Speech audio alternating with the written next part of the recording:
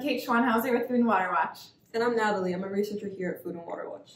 And Natalie and I are here today to shed a little bit of light onto plastic water bottles, the plastic industry as a whole, and the health impacts that plastic can have on us. So we know that the plastic water bottle industry really puts a lot of resources into making us believe that the water that's inside these bottles is safer for us to drink than the water that's coming from our taps. This Fiji brand, for example, claims that it's untouched by man, bottled straight at the source. But a lot of times these claims about purity and safety are pretty misleading. Natalie, why is that the case? Yeah, Kate. So bottle, uh, bottled water in the U.S. is regulated less than tap water.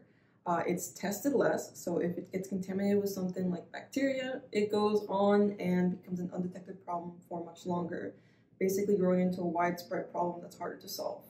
So for water safety, you're just better going off with tap. That's right. We do know that unfortunately not everybody's tap water is safe for them to drink, so that's why Food and Water Watch is also working to pass the Water Act, which would provide critical uh, funding to upgrade our water infrastructure and make sure that everyone does have water that's safe straight from their taps. And if you are concerned about the safety or quality of your own tap water, we have some resources for you on our website, including uh, how to choose a water, a water filter that's right for you.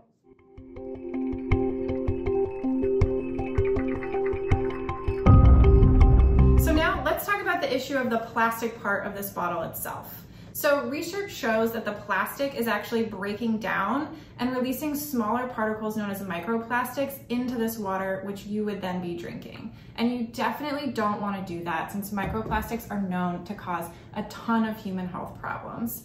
Natalie, what are some of the problems that microplastics have been linked to? They're huge problems, Kate. They've been linked to things like developmental harm, reproductive harm, and even cancer.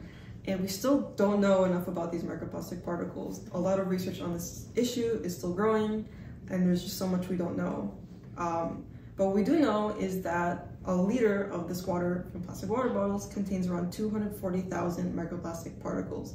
So imagine taking into consideration the health issues and the actual amount of plastic particles you are ingesting from drinking this plastic water.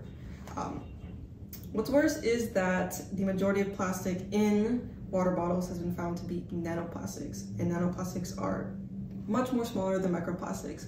Some of those particles are even about the width of one one thousandth of a human strand of hair. Uh, that basically means it's small enough to enter many of our organs, like livers and our brains and our bloodstreams, where they can wreak even more havoc on our bodies. Right, and if these lax regulations and the microplastics weren't bad enough, the bottling process can actually add even more contamination to the water that's going into these bottles. Yeah, you're absolutely right, Kate. Um, our research cites that the bottling and the storing process of these plastic water bottles can add a lot of really serious contaminants into our water, such as heavy metals, benzene, pesticides, uh, and PFAS. What's more is that plastic bottle, plastic water bottles in general contribute to around 400 million tons of waste annually into our environment and 85% of that just ends up in landfills or as unregulated waste. All right, now let's hear from another Food and Water Watch expert. Hi, this is Jorge from Food and Water Watch. Bottled water companies are spending a ton of money to convince us that their water is safer and better. But on average, bottled water actually contains more plastics than your average cup of water from the tap. And this plastic ultimately ends up in landfills and in our waterways. Right, which we definitely don't want to be seeing. So, Jorge, what's something that we can all do to stop this plastic pollution? Yeah, I think we got to go directly to the source and hold these corporations accountable. So, we are asking folks to write their member of Congress in support of the Break Free from Plastics Pollution Act. Uh, this bill would actually hold corporations responsible for the cleanup of this pollution and curb single-use plastic production. And the link is going to be in the video. And we'll also include a link for the Water Act, uh, so you can also send a message to your representative asking them to support that legislation, which would make public water safe for everyone.